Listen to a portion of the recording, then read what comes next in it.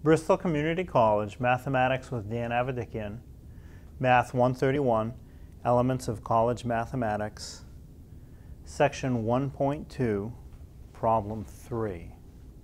So this is problem number 3 from Section 1.2. It says the newsstand price for a copy of the Lizzie Borden Quarterly is $8.75. It costs 83 cents to print each copy, and the fixed cost is 6,000 $336. From this information, we can answer the following five questions. So part A says, what is the revenue equation? So the revenue equation is revenue equals P times X, where P is the selling price for each item and X is the number of items sold. So for this problem, the selling price is $8.75, and that's given in the information for the problem. So P is 8.75, and X represents the number of copies of the newspaper sold. So that's part A. Revenue is 8.75X. B, what is the revenue from selling 100 copies? So take the revenue equation that we have from part A, that 8.75 times x, you can put in 100 for x to represent 100 copies sold. And if you sell 100 copies, you'll make a revenue of, when you multiply that out, it multiplies to $875. Part C, what is the cost equation? So the cost equation is mx plus b. M stands for marginal cost, or the cost per item. X represents the number of items.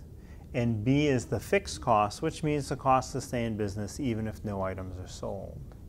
So for this particular problem, the cost equals M, the marginal cost or cost per item, the question said that it cost 83 cents to print each copy.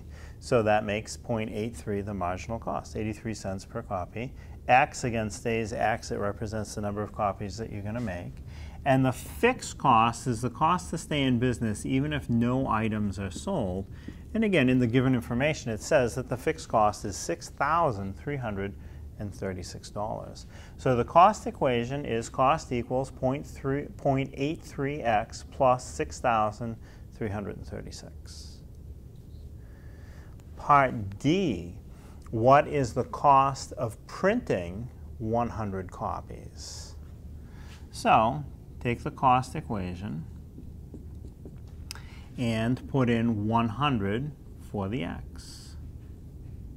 So 0.83 times x becomes 0.83 times 100 plus 6,336. And now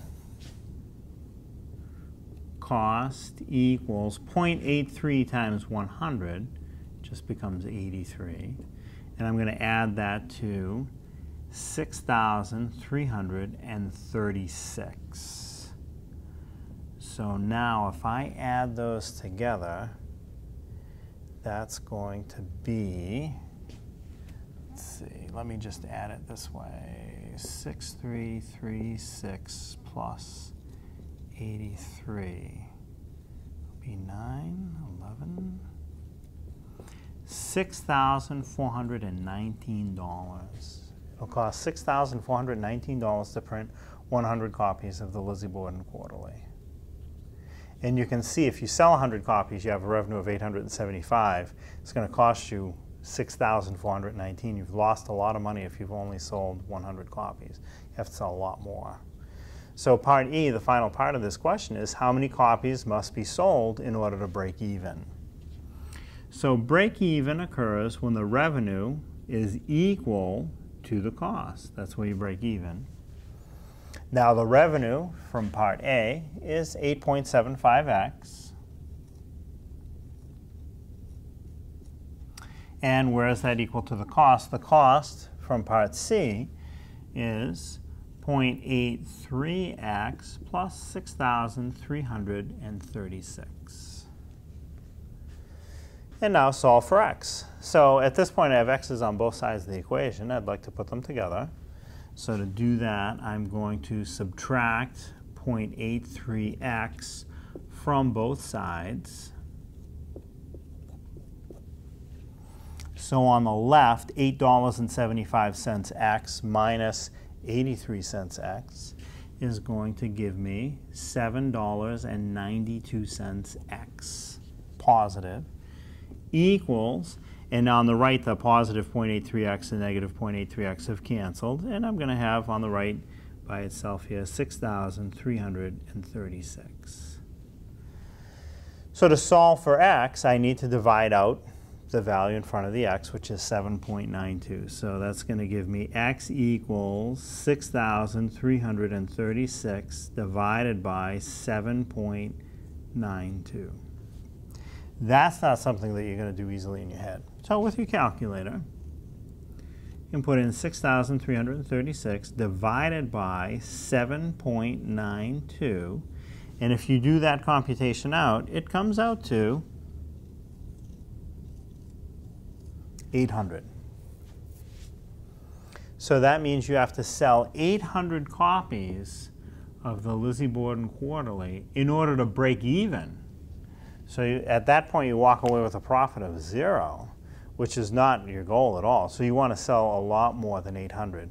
But that's the goal, at least 800. Less than 800, you'll take a loss. And more than 800, you'll make a profit. 800 is where you break even.